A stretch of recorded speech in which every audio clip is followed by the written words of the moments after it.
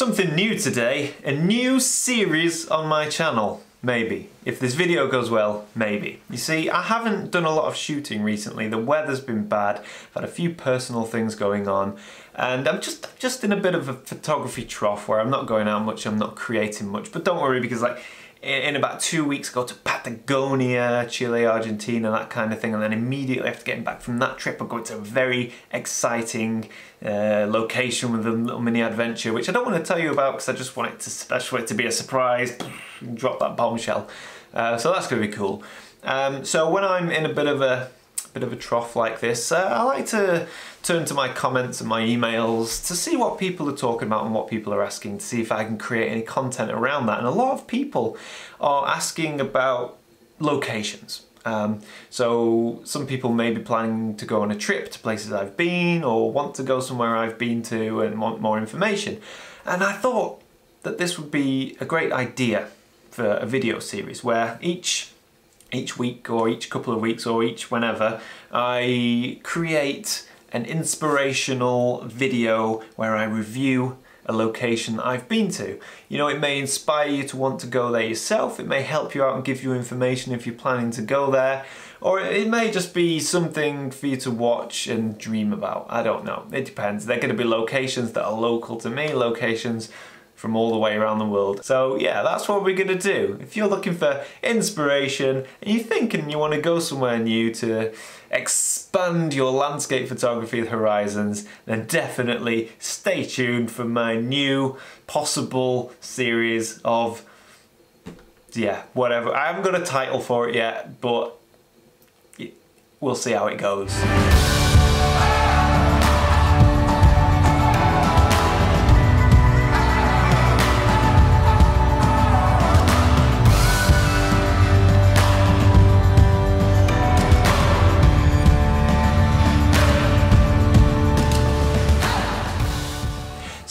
Just like to thank Squarespace for their continued support of my channel. If you need a website, go to squarespace.com forward slash Heaton. So, the first location that I want to talk about and review, if you like, is one of my favourite locations that I've ever been to. It's beautiful, it's exciting, it's, it's accessible, um, it has everything that I look for in landscape photography. And that is Landmannalaugar in the Highlands of Iceland. Now, I'm not going to try and pronounce that name again, so we're just going to call it Landman from now on.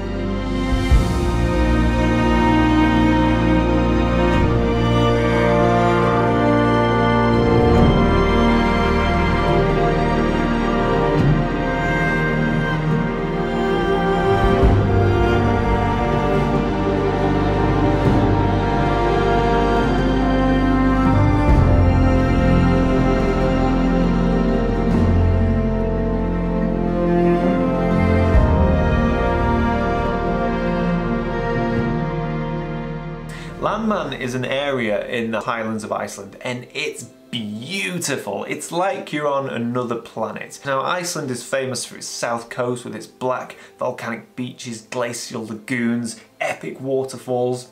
And that is, that is great. I love the south coast. But you know what I love more than the south coast? Land, Landmann. It's fantastic. And that's what we're going to talk about today. So let's talk about why. Why Landman. Um, it's, it's just, it's a great location that offers the feeling of real adventure and it feels like you're off grid um, and off the beaten path. But really, it's very safe, very secure and very accessible. The photography opportunities are second to none. You know, you can shoot detailed abstract images of the colors, textures, patterns on the mountains. You can shoot wide, epic, panoramic scenes of the mountains and the valleys. You can go on a two or three hour hike and shoot images from high up. You can shoot two or three minutes from your tent. It offers so much. There's a hot spring there. Well, it's not really a hot spring, it's more of a hot, warm, cold spring. But you know, you can relax in the hot spring and you know there's there's nothing there other than a single campsite so it does feel very remote and it's kind of like safe adventure that's the feeling I get from it so you you don't need loads of experience in the outdoors. You don't need to be super fit because the hikes are all fairly tame and you, you are, there is an abundance of photography opportunities.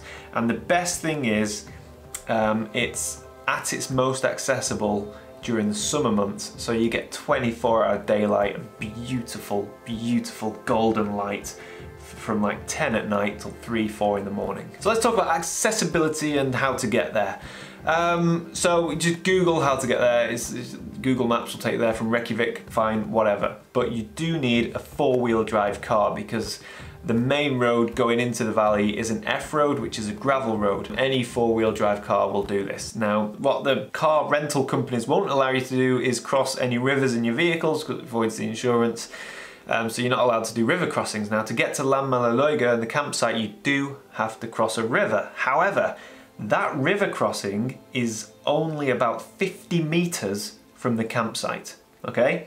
So you don't have to cross the river. You can just park up next to the river get out, walk across a little footbridge, boom, you're in the campsite and you're ready to go. Uh, so yeah, it's, it's very accessible. The local authorities close the road for the spring melt. But other than that, the road is open all year round, but you definitely can't drive there in winter. You can, you can go on an excursion on a big souped up 4x4 mega Jeep, um, but you know, if you're doing a self-drive, you want to be going from mid to late June through till September. Um, and the, the authorities will open the road in around mid-June, but it varies depending on weather conditions. So when you get there, there is only one campsite. That's it. Right? There's, there's no hotels, there's nothing. Just a, just a campsite. Uh, there is a like a bunkhouse with dormitory style sleeping bag accommodation. Um, and then there are toilets, showers, and then yeah, camping. And there's a hot spring and a small shop that's on a bus. Um, and it's very expensive. But yeah, the campsite itself is terrible. It's awful. You know, this is a review, so let's review it. The campsite is one of the worst I've ever had to endure. Um, but what it lacks in everything, it makes up for in location. So let's talk about why it's so bad. Uh, the, the, the pitches where you set up your camp, it's either incredibly boggy and wet or it's incredibly hard and rocky. And that's because it's, a, it's a blooming volcano. You know, you just gotta learn to rough it. You whack a ground sheet down, get yourself a good air airbag, and you'll be fine. The toilets are disgusting and they stink, although they are regularly cleaned. They don't have a sewage system there, so you get that kind of festival smell. Um, yeah, it's horrible. The showers, they're nice, but they are incredibly, they're expensive. You know, these things are. And again, I understand it because of its location, it's very remote. Um, but yeah, showers are expensive. Toilets stink. Campground is hard. And the shop is expensive. But other than that, it's a great it's a great campsite because where you're situated, you are in the valley, you're surrounded by the most breathtaking scenery. So that's the campsite. Uh, let's get on to the photography. Now the first thing you're going to do is once you, when you set up your camp, you probably are going to want to sleep. So if you're there in the summer months, you need to flip your routine upside down. You want to sleep during the day and you're going to want to photograph at night time. And that's because the sun can set, I don't know, anywhere from 11 o'clock at night and then rise again at 2, 3 in the morning and that changes day to day as, as obviously we move through the season. Um, but you get beautiful, beautiful beautiful light.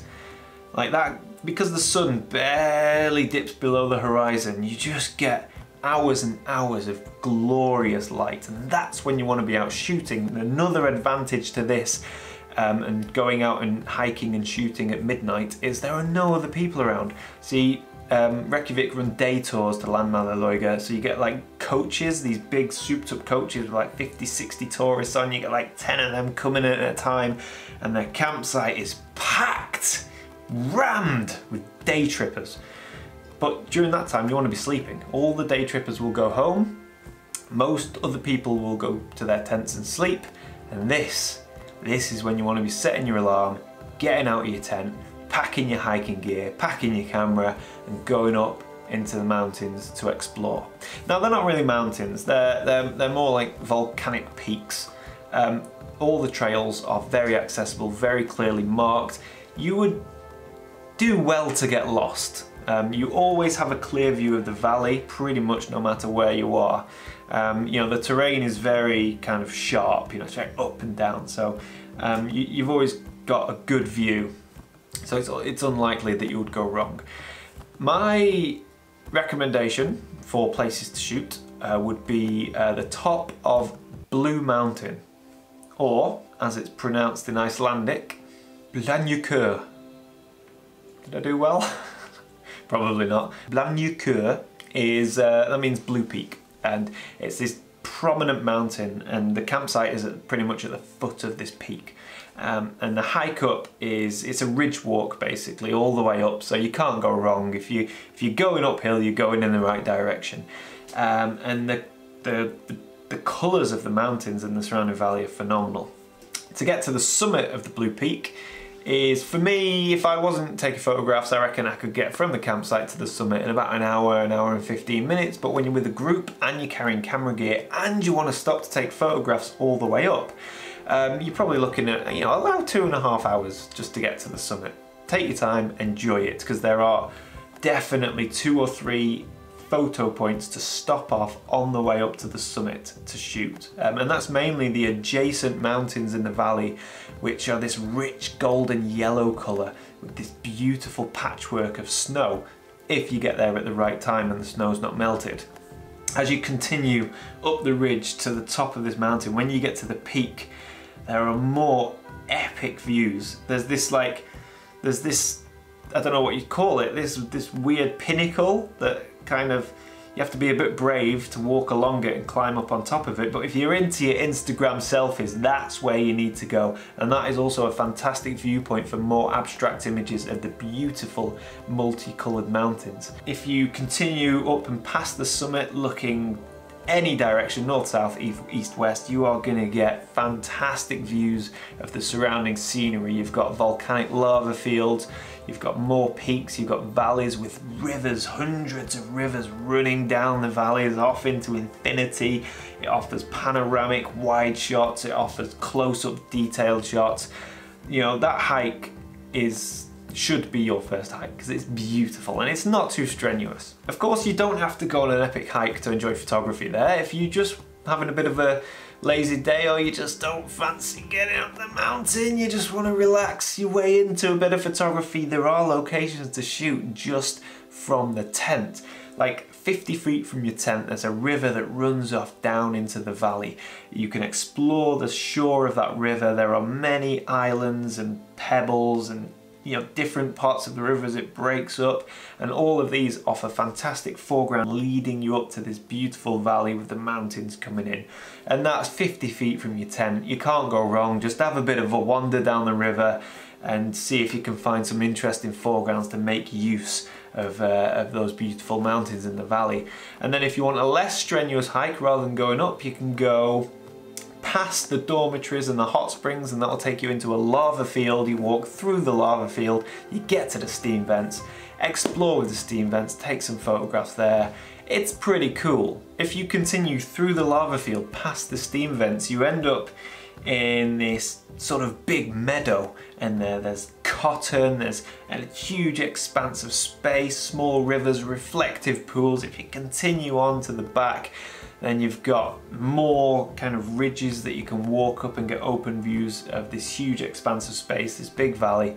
And again, all very easy to navigate, very accessible, and so much to explore. You know, just you can't go. You, you will get so much diversity with your images from this location. And I think for me, that's one of its main attractions is the quality of hiking, the quality and the safety of the adventure, and the diversity of images you can get. Another hike that I would recommend is this one.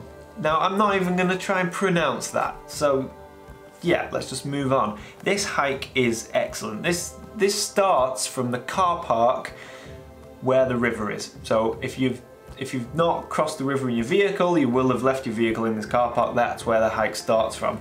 And again, this offers a different perspective of the valley from the Blue Peak that you may have hiked earlier.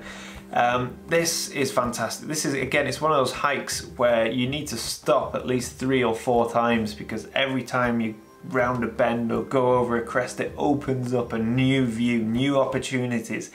Um, and it's just absolutely stunning. It is.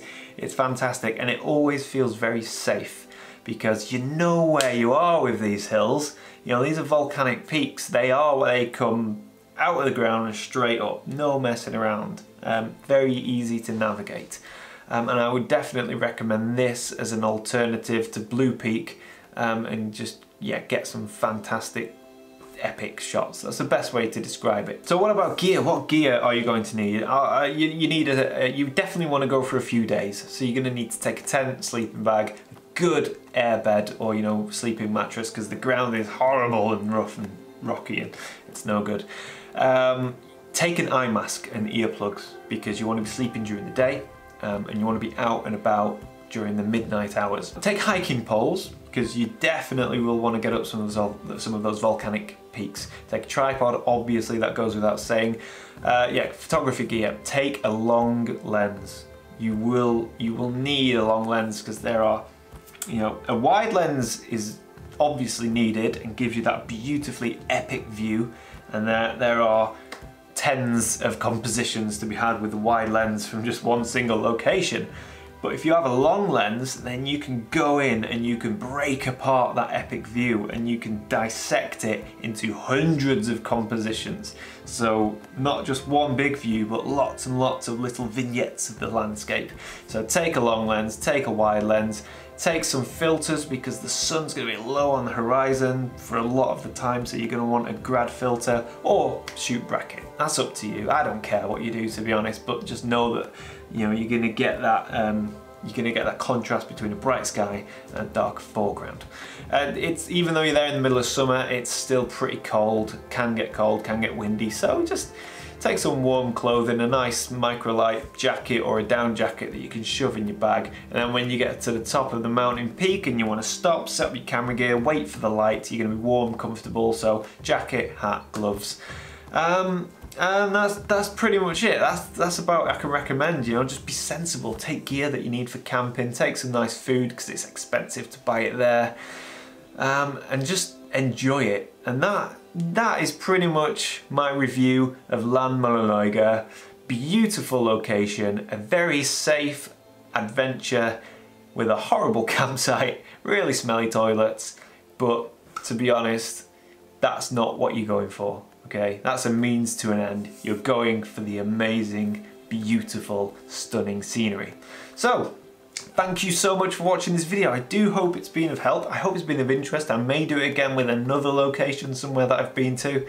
Um, yeah, thank you to Squarespace for sponsoring this channel. If you don't know who Squarespace are, they're a website and you go onto their website and you build your website. So you build your website through their website, dead easy drag and drop system.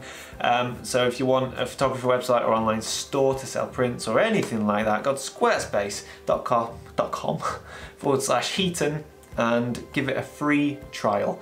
If you like free trial and you want to spend your very hard-earned money, um, use the off code Heaton for 10% off your first purchase. And I don't usually say this, but I'm going to say it anyway. Please do leave a comment below and let me know what you thought about this video. Um, because I enjoyed, I'm enjoying making it. And um, I really do think it might be of use to a lot of people. And it's something I'd like to do again. So yeah, right. Thank you for watching. Until next time, bye for now.